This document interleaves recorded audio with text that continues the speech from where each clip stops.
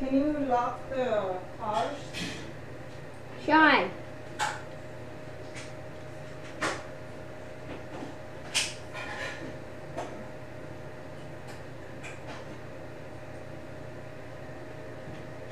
I'm gonna take a big shower or something.